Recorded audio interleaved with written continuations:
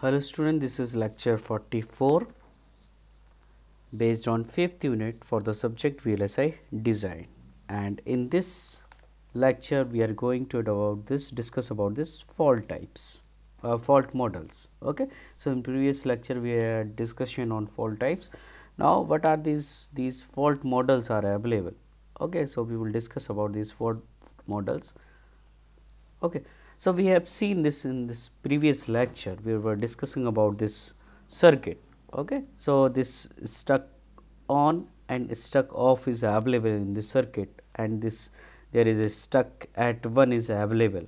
Okay. So, S A 1 is nothing else stuck at 1 means this gate this input okay, or you can say the gate of this PMOS is always stuck at 1 because there is a connection between this VDD to this gate. Okay. So, VDD is nothing else it is always considered 1. Okay. So, stuck on means if I talk about this stuck on means when you are going to design okay you can see over here okay stuck on and stuck off okay so you can see over here we were discussing about this stuck off. Okay. Okay you can stuck open stuck on. So whenever we are talking about stuck open means this is off. Okay how this is off means obviously you know all of you know this is source this is drain and these are the highly concentrated area. So this is here will be you can see p substrate over here. Okay so, what has happened? If you are designing this gate and this gate is not connected with this drain and source. So, it is always open. Means there is no connection between this drain and source with this gate. Okay? Because we are applying voltage over here gate control voltage over here. And there is a no connection between this gate with the drain and source. So, it look likes this okay there is no connection between here. So it is always on or you can say it is always off. Or it is always open and if I talk about the functionality of this NMOS it is always off because there whatever is you are giving here it gate okay this is not connected with the drain and source. So there will be no channel formation. Okay so, this is this is called stuck open and this functionality of this NMOS is off. Now, if I talk about the stuck on okay, and uh, another words you called called short fault. So, what is happening over here the, this connection is proper, but there is always a connection is available between these two. Or in other words you can say this drain and source is directly connected. So, you can see over here there is a connection is always available and you know this is the proper way of this NMOS. But here is connection is always present over here.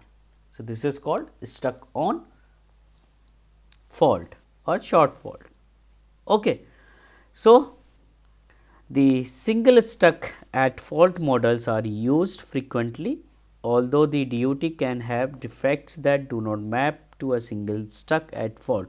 Some of the reasons and these are the reason complexity of test generation is greatly reduced, single stuck at fault is independent of technology, design style, single stuck at test cover large percentage of multiple stuck at faults, Single stuck at test cover a large percentage of unmolded physical defects. Okay. So, we use the stuck at fault models for finding these problems. In the case of especially this stuck open and stuck on. Okay. In other words, we use in other method. Okay. We use this delay faults also which causing timing failure at target speed can be due to several factors. Okay. So, we use this delay fault models for finding out the this timing issues. and these are improper estimation on chip, interconnect delay and other timing consideration, excessive variation in the fabrication process which causes significant variation in circuit delay and clock skew. Okay. So, clock skew you know because uh, we had discussion on this clock skew in the starting of the lecture. Okay. Open end metal lines connecting parallel, transistor which make the effective transistor size much smaller, aging effects such as hot carrier induced delay increase. Okay. So, for these we have this delay fault models. Okay. The task of detecting delay faults is even more suitable uh, subtle than detecting functional faults in the steady state. Okay, the functional test is usually done as speed slower than the target speed due to the limitation of the test. Okay. So, this functional speed uh, for, for testing is lower than this target speed. the fault, uh, fault model mentioned above are used in fault simulation that is test generation, construction of faults, uh, dictionaries or circuit analysis in the presence of the faults. Okay. So, these are these models are available with, with through we can detect uh, where, whether it is related with timing or whether it is related with your uh, physical defects. Okay. So, these are the available. Okay. So, uh, when you will go through designing this circuit with the help of this VHDL and after that you have to when you uh, design your layout on FPGA. Okay. So, we use these models for finding these problems. Okay. So, these are the some models available okay. So, therefore, finding out is stuck open, is stuck on, this uh, stuck at 1, stuck at 0, okay. Is there, is there any bridging, okay. So, these are the method models are available, okay. Computational uh, models are available for finding these problems, okay.